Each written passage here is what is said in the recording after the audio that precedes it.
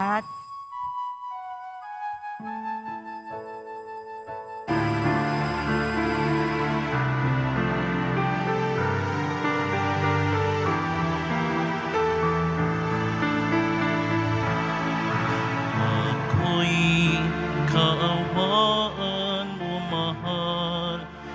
Diyos, sang-ayon sa iyong kagandahang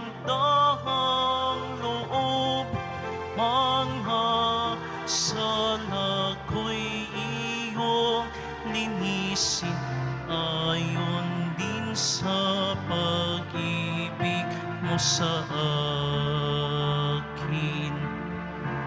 Bubuksan aking puso't isipan.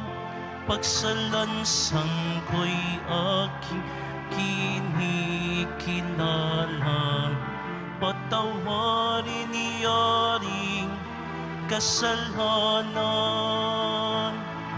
Ako'y kaawaan Diyos Sang-ayon sa iyong kagandahang loob. Mga sala ko'y iyong linisin Ayon din sa pag-ibig mo sa akin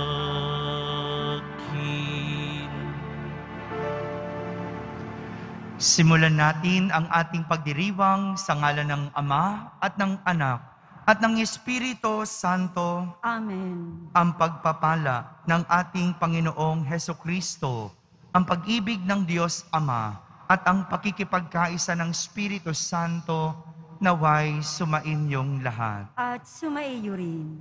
Mga kapatid, tinipon tayo bilang kaanib ng angka ng Diyos. Kaya dumulog tayo sa mawaing Panginoong nagpapatawad ng lubos. Sinugong tagapagpagaling sa mga nagsisisi, Panginoon, kaawaan mo kami. Panginoon, kaawaan mo kami. Dumating na tagapag-anyayang mga makasalanan ay magsisi. Kristo, kaawaan mo kami. Kristo, kaawaan mo kami. Nakaluklok ka sa kanan ng Diyos Ama para ipamagitan kami.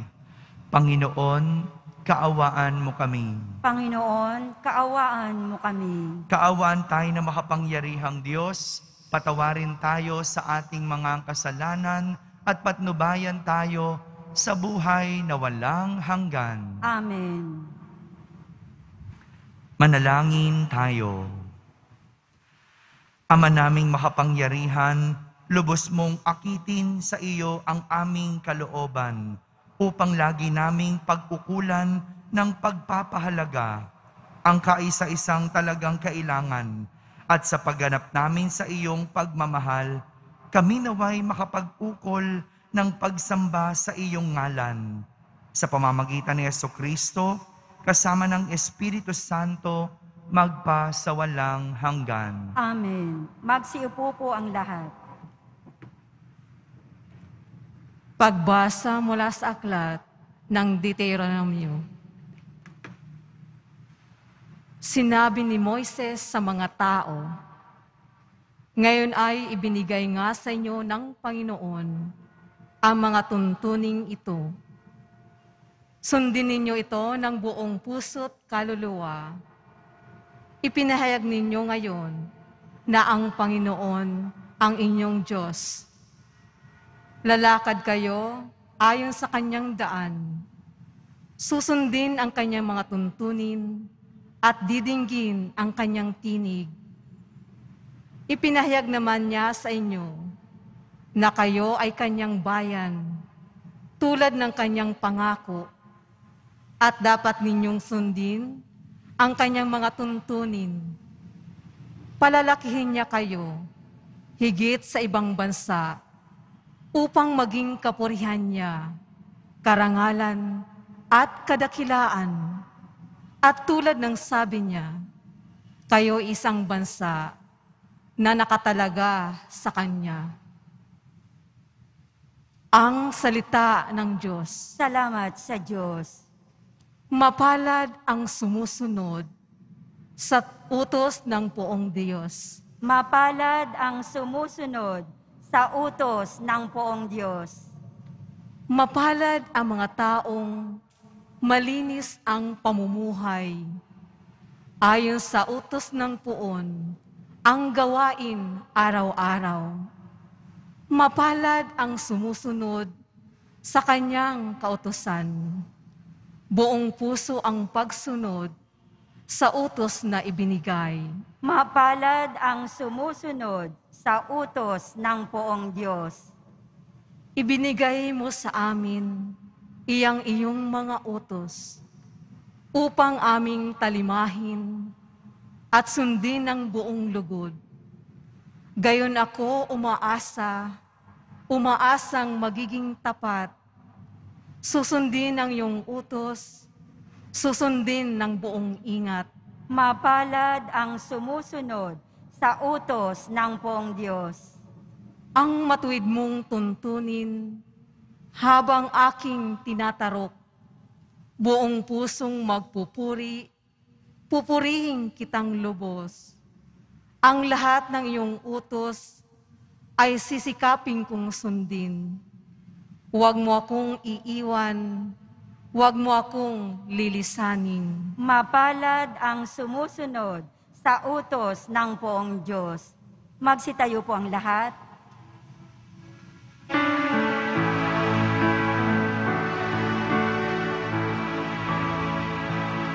Nagpupuri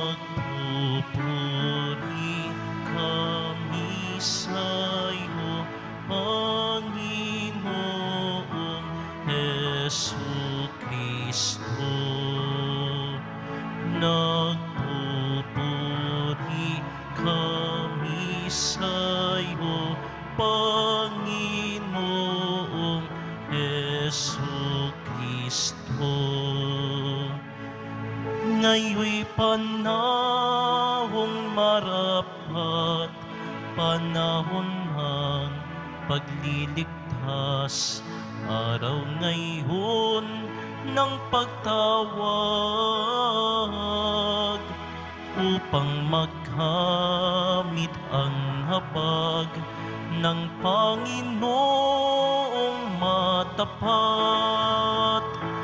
Nagpupuri kami sa iyo, Panginoong Yesu Kristo.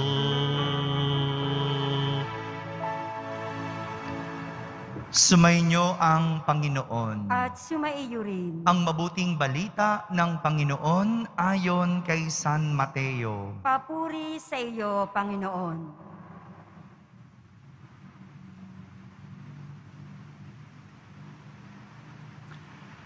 Noong panahong iyon, sinabi ni Jesus sa kanyang mga alagad, Narinig na ninyong sinabi, Ibigin mo ang iyong kaibigan at kapuotan mo ang iyong kaaway.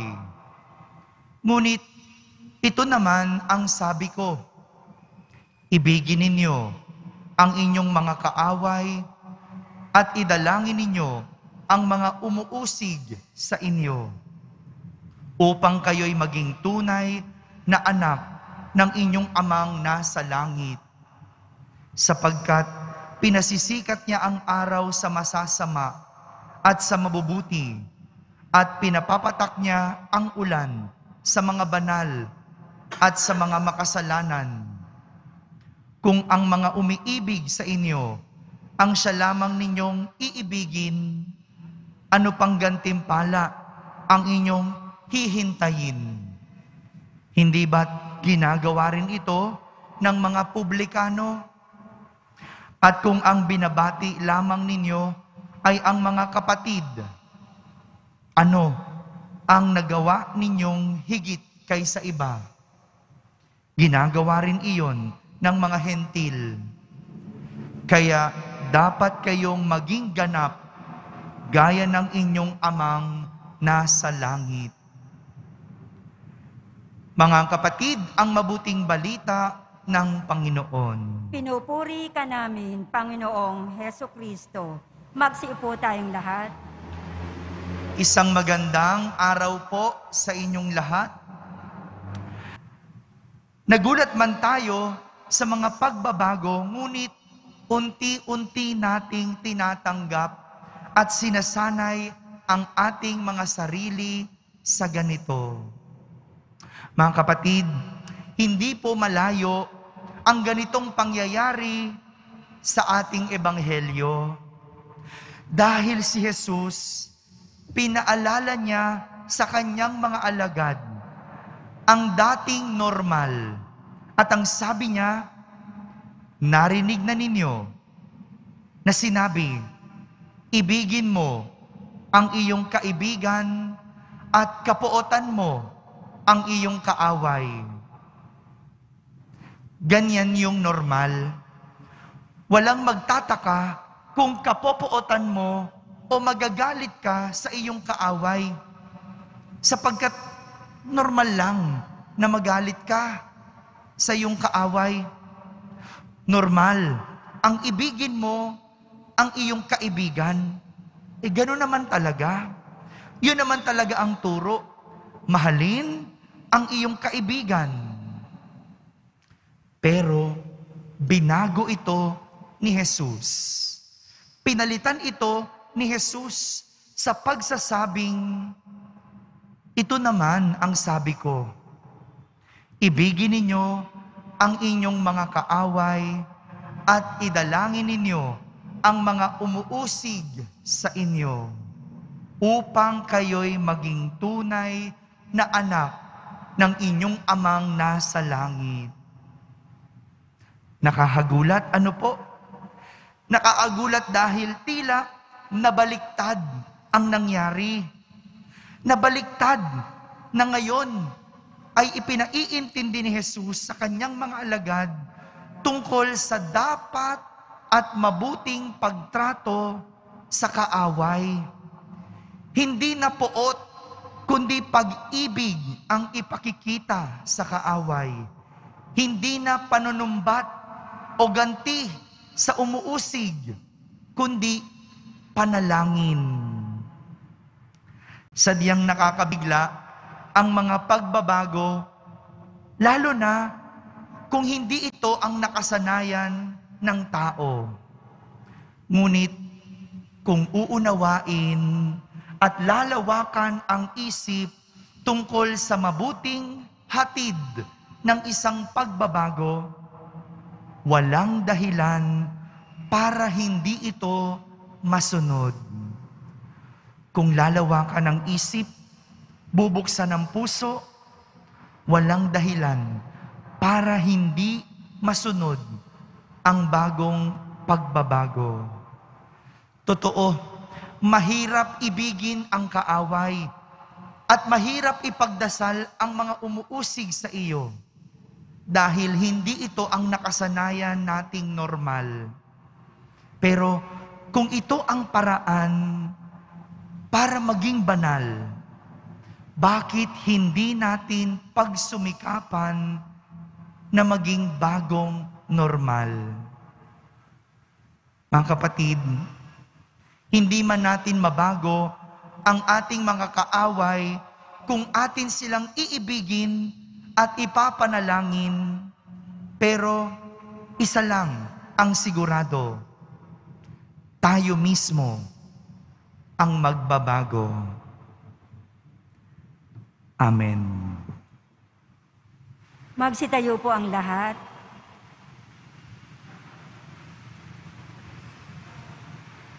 Minamahal ko mga kapatid, taglay ang pagtitiwala, lumapit tayo sa mapagpatawad na Ama na ang habag sa atin ay walang hanggan at walang katapusan. Ating sambitin sa bawat panalangin, Panginoon, gawin mo kaming ganap sa iyong pag-ibig. Panginoon, gawin mo kaming ganap sa iyong pag-ibig. Ang simbahan, naway maging buhay na halimbawa ng pagpapatawad at habag na ipinakita ni Jesus. Manalangin tayo. Panginoon, gawin mo kaming ganap sa iyong pag-ibig.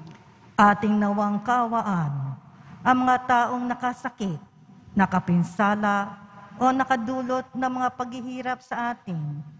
Manalangin tayo. Panginoon, gawin mo kaming ganap sa iyong pag-ibig. Sa tulong ng biyaya ng Diyos, naway mapatawad natin ang ating mga kaaway. Manalangin tayo. Panginoon, gawin mo kaming ganap sa iyong pag-ibig. Sa mga may sakit, matatanda, at mga pinabayaan, naway ating maipadama ang ating pagmamahal at habag. Manalangin tayo. Panginoon, gawin mo kaming ganap sa iyong pag-ibig. Sa katahimikan, ating ilapit sa Diyos ang ating mga pansariling kahilingan.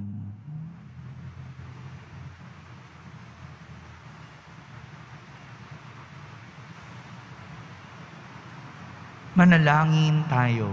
Panginoon, gawin mo kaming ganap sa iyong pag-ibig. Makapangyarihan at mahabaging Ama, pinasasalamatan ka namin sa pagpapatawad na inihandog mo sa pamamagitan ng iyong anak.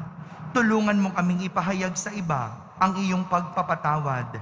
Hinihiling namin ito sa pamamagitan ni Kristo na aming Panginoon. Amen. Magsiupo po ang lahat.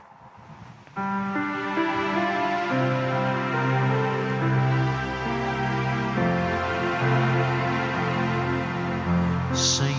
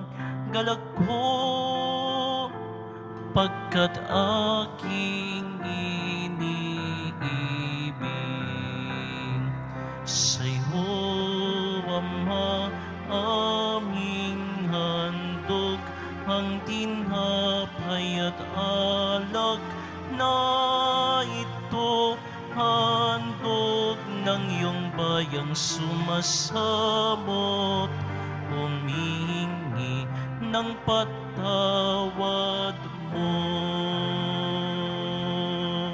Pagsitayo po ang lahat. Manalangin kayo mga kapatid upang ang paghahain natin ay kalugdan ng Diyos amang makapangyarihan. Tanggapin nawa ng Panginoon itong paghahain sa iyong mga kamay, sa kapurihan niya at karangalan, sa ating kapakinabangan at sa buong sambayanan niyang banal. Ama naming lumikha, ang ipinagdiriwang naming banal na paghahain ay maganap nawa sa ikapagpapatawad ng mga kasalanan at maging magpagindapat na kami maging katambal ng pag-aalay ng iyong anak na aming tagapamagitan kasama ng Espiritu Santo magpa sa walang hanggan. Amen. Sumainyo ang Panginoon. At sumaiyo rin. Itaas sa Diyos ang inyong puso at diwa. Itinaas na namin sa Panginoon. Pasalamatan natin ang Panginoong ating Diyos. Marapat na siya ay pasalamatan. Ama naming makapangyarihan, tunay ngang marapat na ikaw ay aming pasalamatan sa pamamagitan ni Yeso Kristo na aming Panginoon. Sa pagbabakasakali mong kami bubuti, isinugo mo si Yeso Kristo upang pangunahan kami. Bilang pagsunod sa iyong atas na bigay, ipinahayag ng iyong anak ang iyong kalooban na ang mga apit dukha ay kanyang damayan. Ngayon ay iyong inihahandog ang pagkakataong aming maisaloob ang kanyang ganap at kusang pagdilingkod upang sa iyo'y lagi kaming makasunod. Kaya kaysa ng mga anghel na nagsisiawit ng papuri sa iyo ng walang humpay sa kalangitan, kami nagbubunyi sa iyong kadakilaan. Santo, Santo, Santo, Panginoong Diyos ng mga hukbo, napupuno ang langit at lupa ng kadakilaan mo. o sana sa kaitaasan. Pinagpala ang naparirito sa ngala ng Panginoon, o sana sa kaitaasan. Magsilod po ang lahat. Ama naming banal, ikaw ang bukal ng tanang kabanalan. Kaya't sa pamagitan ng iyong Espiritu, ay gawin mong banal ang mga kaloob na ito upang para sa amin ay maging katawan at dugo ng aming Panginoong Heso Kristo. Bago niya, pinagtiis ang kusang loob na maging handog, hinawakan niyang tinapay, pinasalamatan kanya, pinaghati-hati niya iyon, iniyabot sa kanyang mga lagad at sinabi, Tanggapin ninyong lahat ito at kanin, ito ang aking katawan na inihahandog para sa inyo.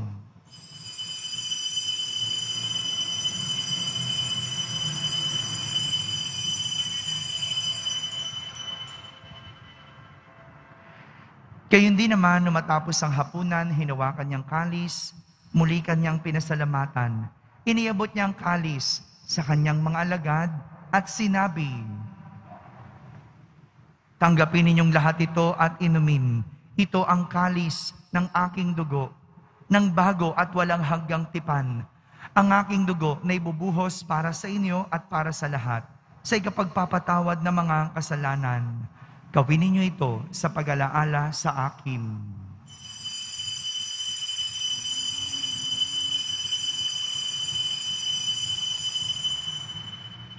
Magsitayo po ang lahat.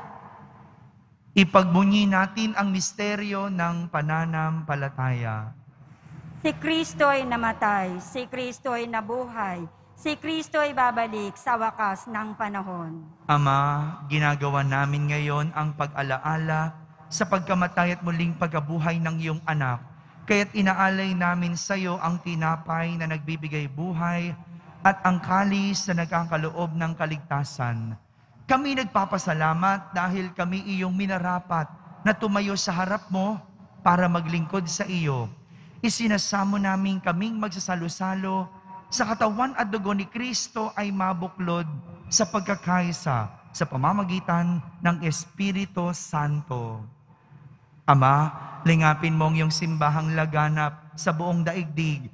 Puspusin mo kami sa pag-ibig kay isa ni Francisco na aming Papa at ni Jose na aming Obispo at ng Tanang Kaparian. Alalahanin mo rin ang mga kapatid naming nahimlay na may pag-asang sila'y muling mabubuhay. Kayon din ang lahat ng mga pumanaw. Kaawan mo sila at patuloyin sa iyong kaliwanagan. Kaawan mo at pagindapating kaming lahat na makasalo sa iyong buhay na walang wakas. Kaisa ng mahal na Birheng Maria na ina ng Diyos, ng kabiyak ng puso niyang si San Jose, kaysa ng mga apostol at ng lahat ng mga banal na namuhay dito sa daigdig ng kalugod-lugod sa iyo. May pagdiwang nawa namin ang pagpupuri sa kararangal mo sa pamamagitan ng iyong anak na aming Panginoong Heso Kristo. Sa pamamagitan ni Kristo, kasama niya at sa Kanya, ang lahat ng parangal at papuri ay sa iyo, Diyos amang makapangyarihan, kasama ng Espiritu Santo, magpa sa walang hanggan. Amen. Sa tagubilin ng mga nakahagaling na utos at turo ni Jesus na Panginoon natin at Diyos, ipahayag natin ng lakas loob.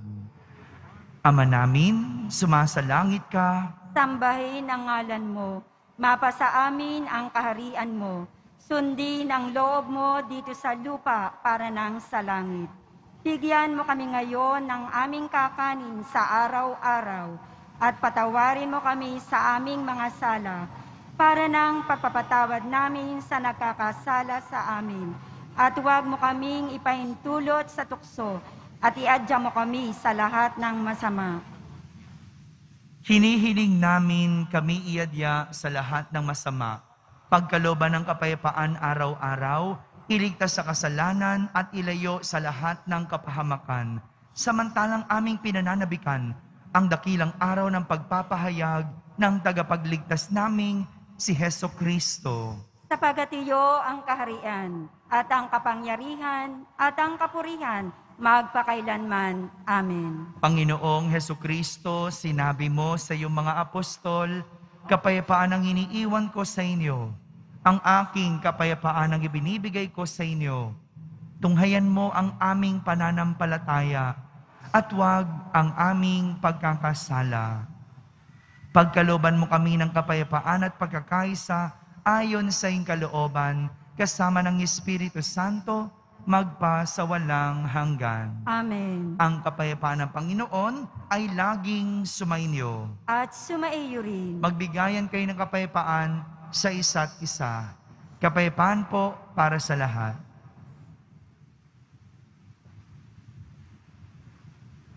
Kordero ng Diyos na nag-aalis ng mga kasalanan ng sanlibutan, maawa ka sa amin.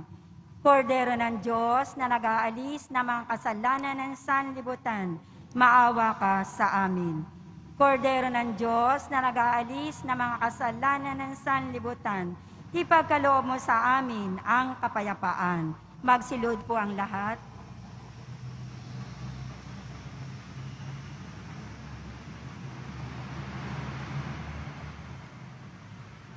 Ito ang kordero ng Diyos. Itong nag-aalis ng mga kasalanan ng sanlibutan. Mapalad ang mga inaaniyahan sa kanyang piging. Panginoon, hindi ako karapat-dapat na magpatuloy sa iyo, ngunit sa isang salita mo lamang ay gagaling na ako. Ang katawan ni Kristo Amen.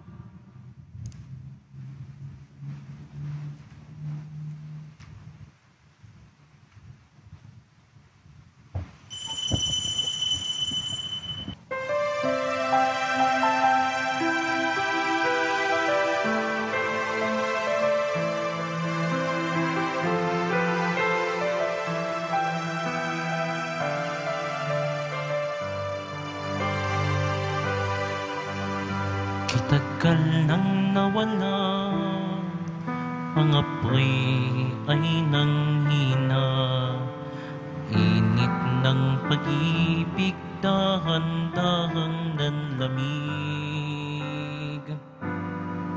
Sa bilis ng panahon Ang panghako'y nalimutan Puso na inalay ay binawi ng muli.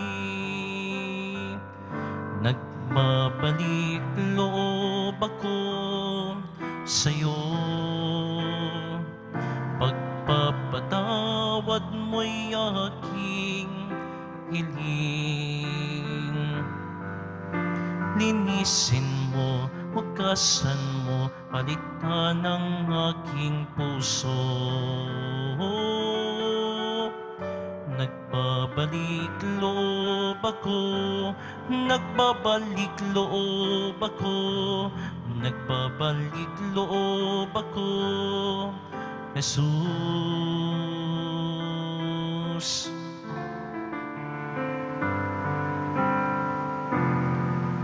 Kay tagal nang nawala Ang apoy ay nanghina. Init ng pag-ibig Dahan-dahan nanlamig. Sa bilis ng panahon Ang pangako'y nalimutan. Puso na inalay ay binawi ng muli Nagbabalik loob ako sa'yo Pagpapatawad mo'y aking hiling Linisin mo, hugasan mo, palitan ng aking puso. Oh, nagbabalik loob ako, nagbabalik loob ako, nagbabalik loob ako, Jesus. Magsitayo po ang lahat. Manalangin tayo. Ama naming mapagmahal sa iyong kagandahang loob ay lagi mong subaybayan ang iyong pinapakinabang sa piging mong banal. Upang ang iyong pinuspos ng lakas mong bigay ay makasalo lagi sa ligaya ng mga hirang. Sa pamamagitan ni Yeso Kristo, kasama ng Espiritu Santo, magpa sa walang hanggan. Amen. Sumainyo ang Panginoon. At sumaiyo rin. Pagbabasbas ng pong Yesus Nazareno. Mahal na pong Yesus Nazareno, inihayag mo sa pamamagitan ng krus ang walang maliw na pag-ibig ng Diyos sa sangkatauhan. Pakinggan mo ang kahilingan ng iyong angkan na nagsusumamo sa iyo. Makamtanawan nila ang inyong katugunan at tanggapin ang kasagutan na may utang na loob na tinatanaw. Basbasan din po ninyo ang lahat na may karamdaman at nahihirapan sa pamamagitan ng bendesyon na ito, naway maalala nila ang mga pangako nila noon sa binyag, na ikaw ang kanilang iibigin at pagdilingkuran bilang Panginoon, magpa sa walang hanggan. Amen. At pagpalain kayo ng makapangyarihang Diyos, Ama, Anak, at Espiritu Santo. Amen. Tapos na po ang ating pagdiriwang humayking taglay, ang pag-ibig at kapayapaan ng poong Jesus Nazareno. Salamat sa Diyos.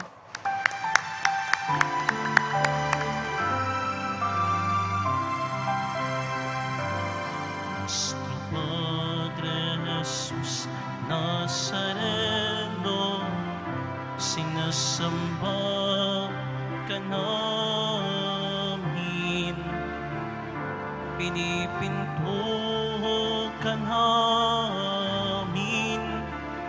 Aral mo ang aming buhay at kaligtasan. Nuestro Padre Jesús Nazareno, iligtas mo kami sa kasalanan. Ang krus mong kinamatayan ay sagisag ng aming kaligtasan. Nuestro Padre Jesús Nazareno, dinarangal ka namin.